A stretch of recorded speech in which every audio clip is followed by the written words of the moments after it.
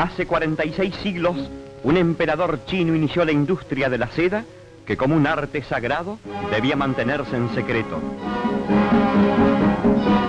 Detrás de la colosal muralla, el celeste imperio retuvo por miles de años el secreto de la cría del gusano tejedor. La muerte era el castigo que se imponía a quienes osaran revelar el misterio de la sin par industria. Dos monjes, 500 años después de Cristo, afrontaron el riesgo.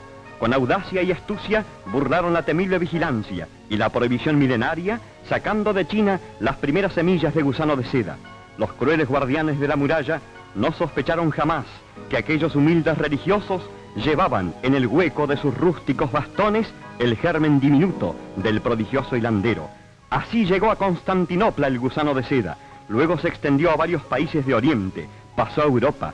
Aquellos dos monjes pueden considerarse como los padres de una industria que floreció andando el tiempo en Francia y en Italia y que ha llegado sin mengua hasta nuestra tierra.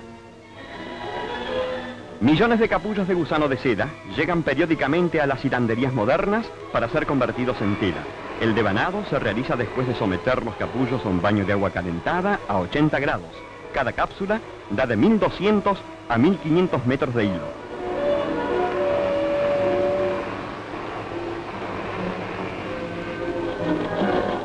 Modernas máquinas consumen la producción del gusano y elaboran finísimos tejidos que encuentran inmediata colocación en los mercados y siempre a precios elevados.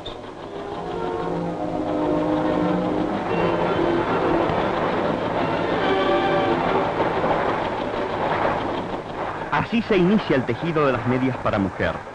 La malla delicada, de cambiantes reflejos, corre en procura de su forma definitiva a través de rápidas agujas que cruzan, enlazan y anudan hebras entre una complicada organización mecánica.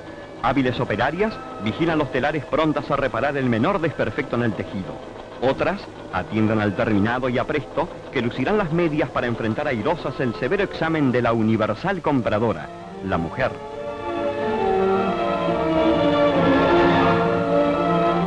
Cintas para máquinas de escribir, resistentes al martilleo implacable de los tipos y alma elástica y vibrátil para las cuerdas de la guitarra, salen también de la incomparable hebra del gusano de seda que da a sí mismo el hilo mágico con que figuran arabescos las manos de las bordadoras.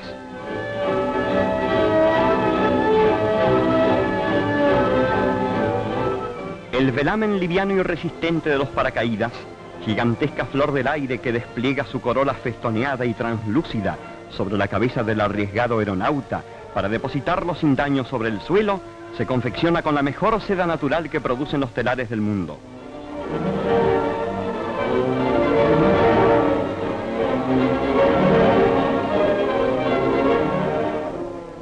El gusano de seda se alimenta de hojas de morera.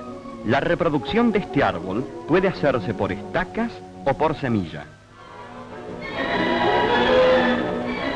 Para la reproducción por estacas se cortan ramas de árboles vigorosos. El tercio medio se divide a tijera en estacas de 30 centímetros.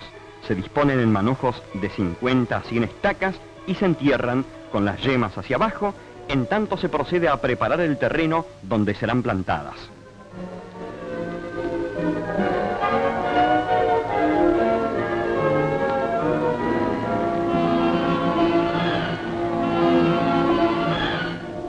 Al cabo de 8 a 10 días, se desentierran los manojos cuidadosamente para no malograr las futuras plantas. Las estacas presentan numerosas yemas en vísperas de brotación.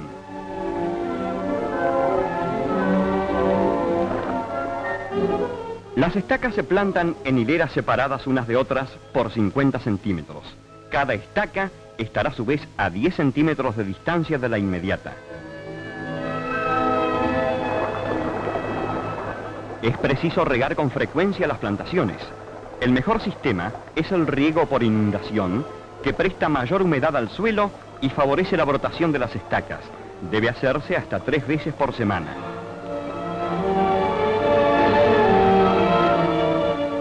Yuyos y malezas que aparecen en las plantaciones medran a expensas de las estacas en el momento crítico de la brotación.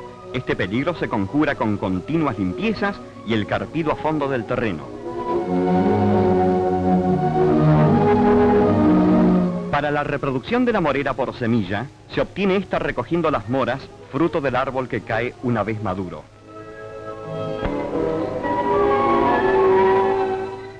Las moras se llevan a un recipiente con agua para proceder a la separación de la semilla. Con los dedos se presiona suavemente la pulpa y se la deshace. Como se trata de un material liviano, sobre nada en la superficie, mientras que la semilla se precipita al fondo del recipiente.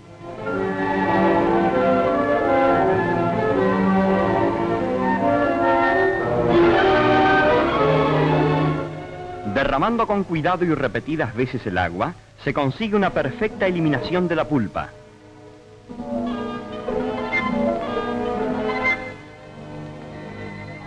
La semilla de morera se recoge después en un sedazo o pedazo de tela que escurre el agua. Se la lleva a una superficie plana, donde se la extiende y se la deja secar a la sombra.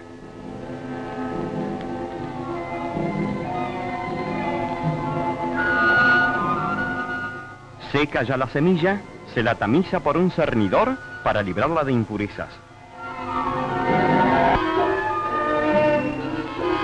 La siembra se efectúa 5 o 6 días más tarde. Se mezcla la semilla con arena para que no se apelotone y se la distribuye en los canteros destinados al almácigo. Se cubre con tierra bien desmenuzada y se riega cuidadosa y abundantemente usando de preferencia una regadera de flor. El riego es operación muy importante, debe hacerse todos los días y de igual forma.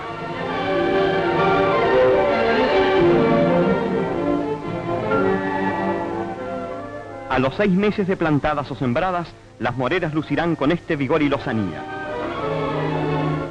En la campaña, la cría del gusano de seda se efectúa en ranchos de quincha bien revocados de barro. Los techos se confeccionan con despunte de caña de azúcar o paja y la habilidad del constructor se advierte en la colocación de los manojos que se doblan y atan convenientemente para que no pase la lluvia. Los ranchos se ventilan con ventanas practicables.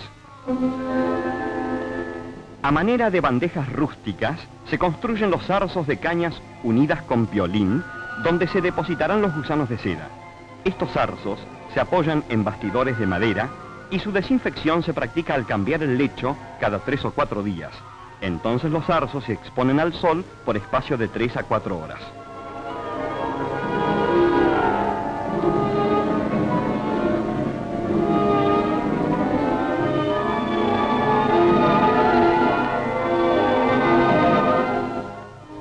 La semilla de gusano de seda se conserva en heladera para evitar su eclosión prematura. A fines de julio se inicia la incubación desparramándola en cajitas de cartón y a la temperatura ambiente.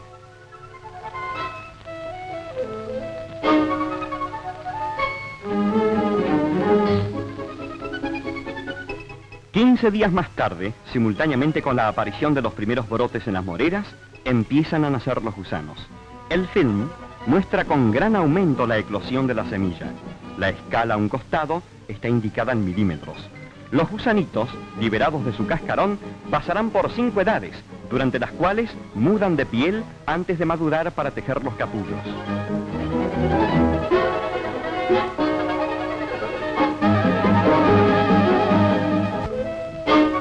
Gusanos en su primera edad. Se los alimenta con hojas de morera picadas en pedazos muy pequeños. Se cubre el primer lecho con un papel perforado, sobre el cual se deposita alimento fresco. Los gusanos pasan por los agujeros a esta nueva cama. Sobre hojas de morera se ven gusanos en la segunda y en la tercera edad. En esta última se muestran particularmente voraces.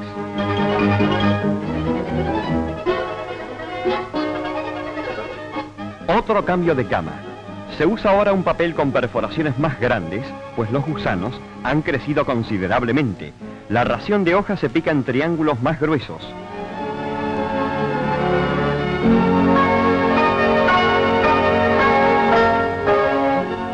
Las hojas de morera se arrancan entre las 8 y 9 de la mañana cuando el sol ha secado el rocío y en cantidad suficiente para las raciones del día.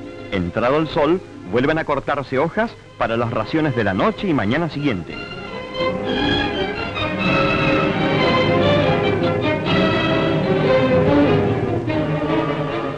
Picado de hojas de morera en uno de los criaderos modelo instalados por el Instituto Textil de la Universidad Nacional de Tucumán en el norte del país. En la cuarta edad, el Bombix mori acusa una voracidad extraordinaria y reclama abundante ración de hojas que se le proporciona cortada en triángulos para que al secarse no se enrosquen, aprisionen y den muerte al gusano. Al llegar a su quinta edad, los gusanos alcanzan una longitud de 9 a 10 centímetros y un peso aproximado de 5 gramos. El Instituto Textil de la Universidad Nacional de Tucumán vigila celosamente el estado sanitario de los criaderos del norte. Diariamente se llevan a su laboratorio de análisis los ejemplares sospechosos recogidos en los criaderos de gusanos de seda destinados a semillación, esto es, a perpetuación de la especie. El personal técnico realiza las observaciones tendientes a establecer la presencia de gérmenes que originan enfermedades que, como la pebrina, son sumamente contagiosas. La semillación celular, preconizada por Pasteur en el año 1865, asegura ejemplares resistentes a las enfermedades.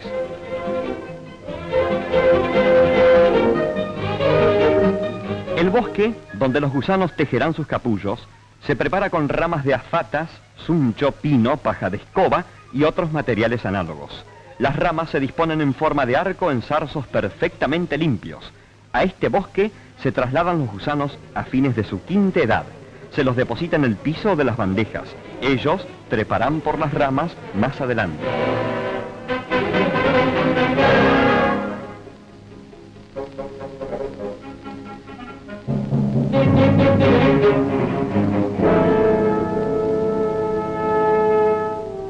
Los gusanos han dejado de alimentarse.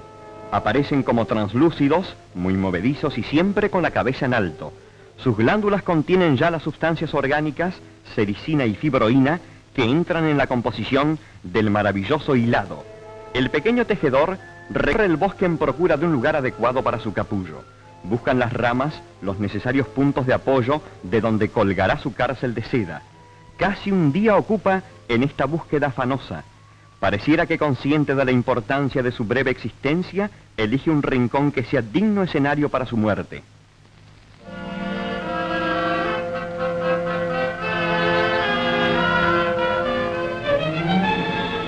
El Bombix Mori da comienzo a su prodigiosa labor. Empieza por tejer las paredes exteriores del capullo, que va tomando poco a poco la forma de una enorme cápsula de maní. En incesante trabajo, que demorará casi tres días, el gusano producirá de 1200 a 1500 metros del precioso filamento antes de dar fin al capullo. A medida que avanza su hilado, el pequeño artesano se despide del mundo, enclaustrándose en un recinto mullido y delicado, dentro del cual se operarán aún dos transformaciones, la crisálida y la mariposa.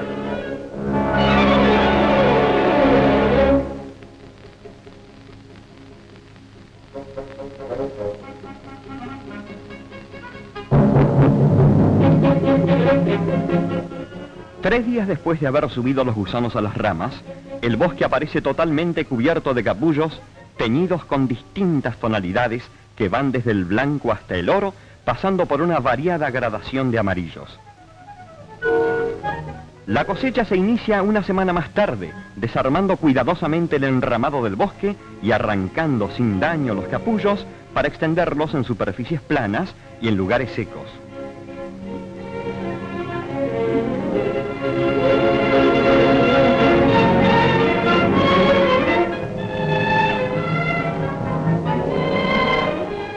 Antes de ser entregados a la industria, los capullos son objeto de una limpieza especial que se llama desborrado. Se les quita la borra exterior para dejar al descubierto la trama de seda que será utilizada. No todos los capullos se presentan regulares y perfectos. Muchos son los que sin desmerecer la calidad de la seda que contienen, afectan formas irregulares y hasta caprichosas.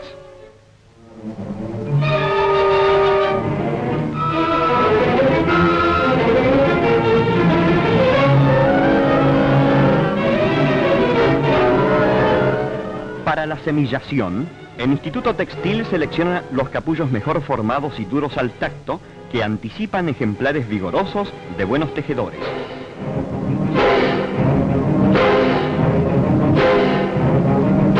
Dentro de su celda, el gusano se transforma en crisálida. Bajo este estado vive durante 17 días. Nace la mariposa. Para escapar de la prisión de seda, segrega un líquido alcalino que ablanda una punta del capullo. Por allí, con titánico esfuerzo, la recién nacida se asoma al mundo. No tiene tiempo para perder, ya que su efímera existencia debe consagrarse a la misión de perpetuar la especie.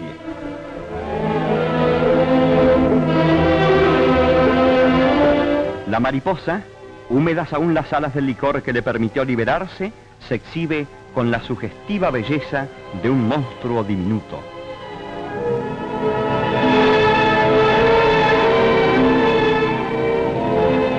Los ejemplares de distinto sexo se acoplan poco tiempo después de haber nacido. El desacoplamiento se practica con gran cuidado para no dañar a la mariposa que iniciará el desove.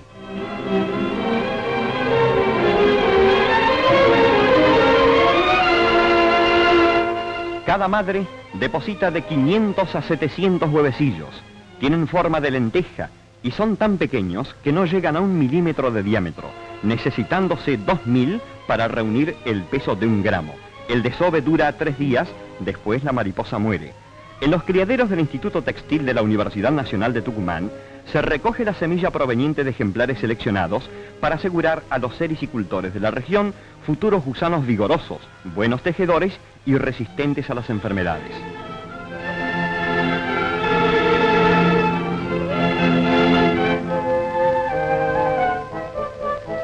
Los capullos destinados a la industria son sometidos a un proceso de sofocación de la crisálida.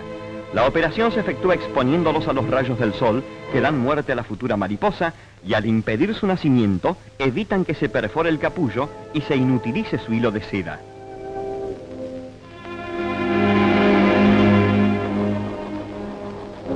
Instituto Textil realiza la filatura de los capullos de producción local.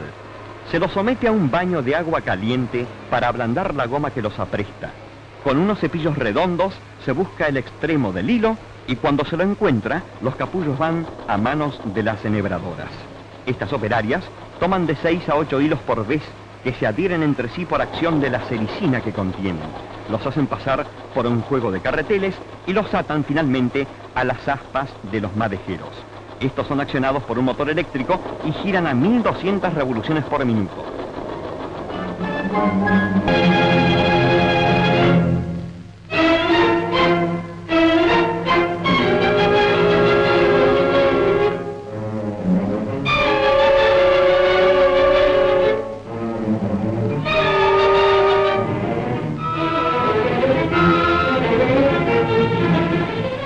Las madejas quedan por 24 horas en los madejeros hasta que se secan. Después de seleccionadas, irán a las grandes hilanderías, donde se transformarán en ricas telas para el vestido.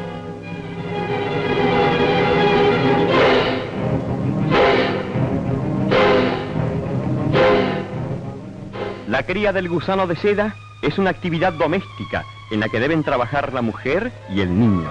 Por eso el Instituto Textil llega con su palabra a los colegios y distribuye gusanos de seda entre los escolares.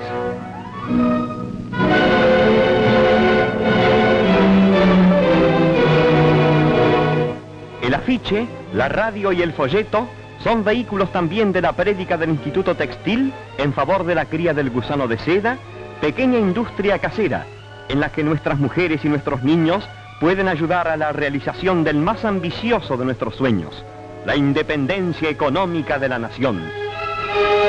Thank you.